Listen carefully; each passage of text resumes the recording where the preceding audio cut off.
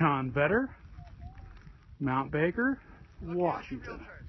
All right, go ahead and start whenever you're ready.